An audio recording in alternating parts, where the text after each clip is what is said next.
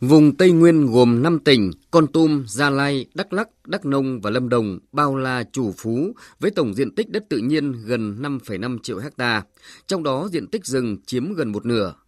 Vì thế, đây được xem như mái nhà Đông Dương, lá phổi xanh che chở cho cả một vùng rộng lớn. Rừng Tây Nguyên có vị trí vai trò quan trọng trong phát triển kinh tế xã hội và các giá trị văn hóa truyền thống, bảo đảm an ninh quốc phòng và bảo vệ môi trường. Rừng nơi đây được coi là cội nguồn của đời sống tâm linh, là phần sâu xa của con người và cộng đồng các dân tộc Tây Nguyên. Vì thế, chưa nói đến hệ lụy về kinh tế, môi trường, nếu mất rừng thì Tây Nguyên sẽ mất đi nền tảng bản sắc văn hóa quý báu bao đời nay. Vậy mà 45 năm qua, rừng Tây Nguyên đã liên tục bị suy giảm, thậm chí có giai đoạn bị tàn phá với tốc độ nhanh khủng khiếp. Tổng cục Lâm nghiệp cho biết, thời điểm từ năm 2010 đến năm 2015, Tây Nguyên là khu vực có tốc độ suy giảm rừng nhanh và nghiêm trọng nhất cả nước, cả về diện tích, chất lượng rừng. Trong 5 năm đó, hơn 300.000 hecta rừng đã bị mất đi. Độ che phủ của rừng giảm gần 6%, trữ lượng rừng giảm gần 26 triệu mét khối. Những năm gần đây, rừng Tây Nguyên vẫn không thôi chảy máu khi năm 2018 có đến hơn 4.000 vụ phá rừng với gần 400 hecta rừng bị mất. Nhức nhối nhất là chỉ trong 4 tháng đầu năm 2019 này, cơ quan chức năng đã phát hiện gần 1.200 vụ vi phạm, gây thiệt hại là 255 hecta rừng, tăng gần 50 hecta so với cùng kỳ năm ngoái.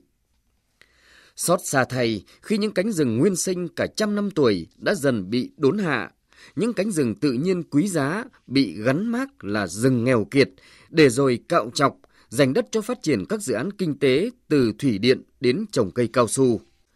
Rồi tình trạng dân di cư tự do, xâm lấn đất trái phép, vi phạm pháp luật về bảo vệ rừng xảy ra nghiêm trọng.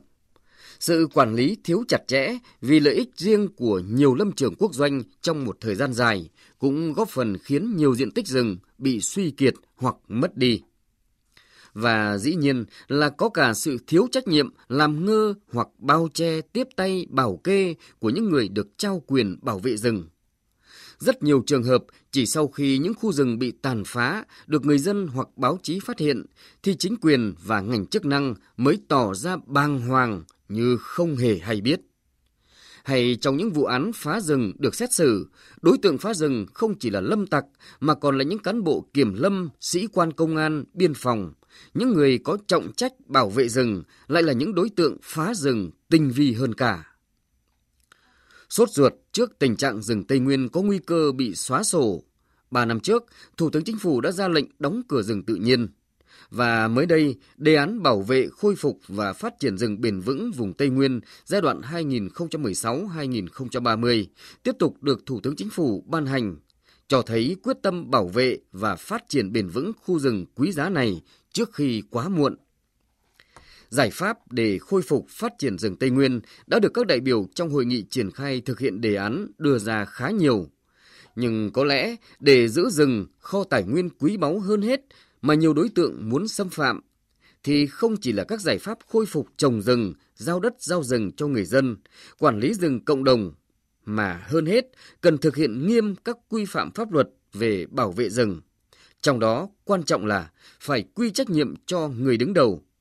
Nếu để xảy ra tình trạng phá rừng, chuyển mục đích sử dụng rừng không đúng quy định, cần làm rõ trách nhiệm và xem xét kỷ luật nghiêm cấp ủy chính quyền địa phương và thủ trưởng đơn vị nơi để xảy ra phá rừng, tránh tình trạng buông lỏng trách nhiệm, cha chung không ai khóc.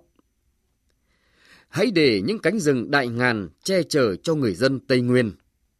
Đó có lẽ là mong muốn ngàn đời của đồng bào nơi đây và cũng là để phát triển bền vững vùng đất trọng yếu và giàu bản sắc này.